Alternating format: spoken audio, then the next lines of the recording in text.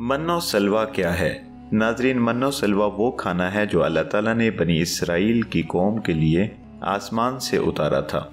बनी इसराइल जो कि नहायत ही बिगड़ी हुई कौम थी, जिसको अल्लाह ताला ने तरह तरह की नेमतों से नवाजा, लेकिन ये सरकशी से बाज न आए और हमेशा नाफरमानी करते रहे। आज के इस वीडियो में बनी इसराइल की कौम का वो वाक़ सुनाएँगे, जब इन पर आसमान से मन्नो सलवा उतारा गया लेकिन हमेशा की तरह इन्होंने फिर नाफरमानी की और आजाब में मुबतला हुए। आपसे गुजारिश है कि वीडियो आखिर तक ज़रूर देखें। नाजरीन, डीप टॉक उर्दू एक इस्लामिक चैनल है। इसको सपोर्ट करके आइए इस कार्य खैर में हमारा साथ दीजिए। अभी सब्सक्राइब कीजिए और बेल बटन ज़रूर दबाइए ताकि आने वाली तमाम वीडियोस आप सबसे पहले हासिल कर सकें।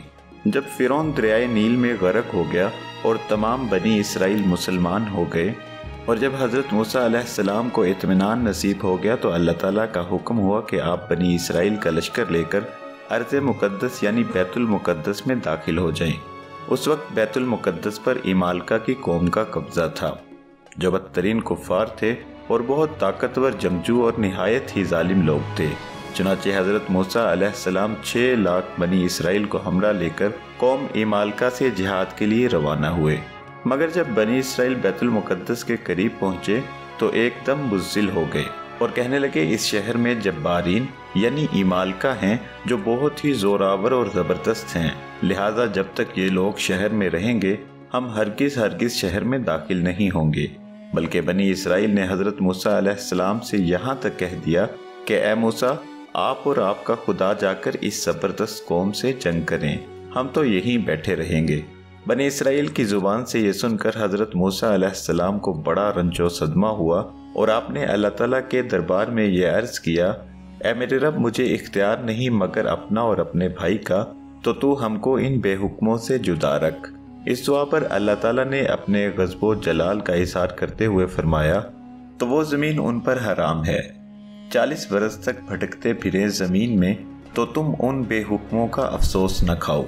इसका नतीजा ये हुआ कि छह लाख बनी इसराइल एक मैदान में चालीस बरस तक भटकते रहे, मगर इस मैदान से बाहर न निकल सके।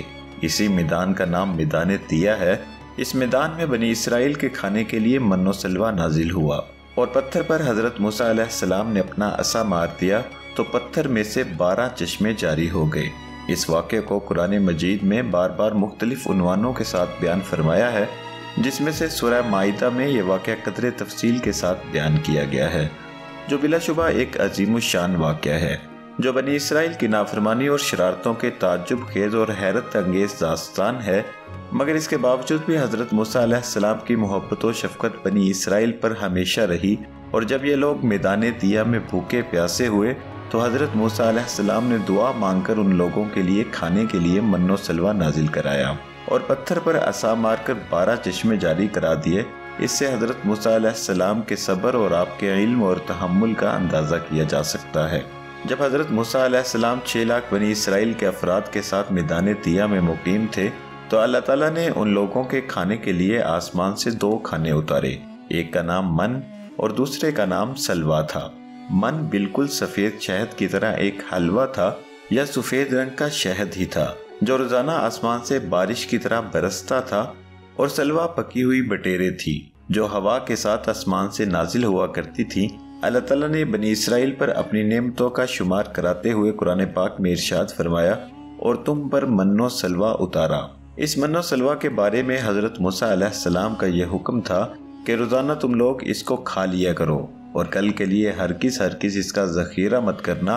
मगर बाज लोगों को यह डर लगने लगा कि अगर किसी दिन मन्नो सलवा ना उतरा तो हम लोग इस मैदान में भूखे मर जाएँगे।